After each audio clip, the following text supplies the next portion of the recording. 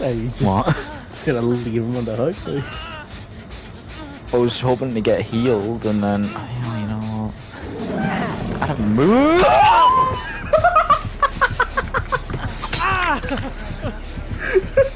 you know what, if I'm dying, you kill Adam too. Hi.